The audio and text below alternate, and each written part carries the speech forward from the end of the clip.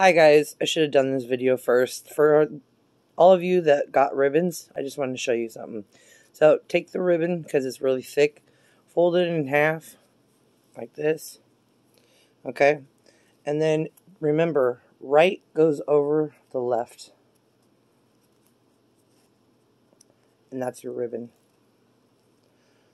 The right goes over the left side. Sorry, it's not perfectly creased, as you can see, but if you perfectly crease it, not like I did, and then you take the bobby pin and you put it through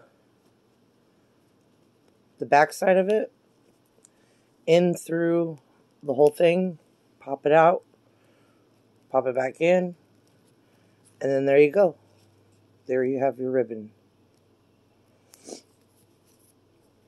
So just remember, right over the front. Right goes over the front. Thank you, everybody that said thank you. Happy Monday, guys.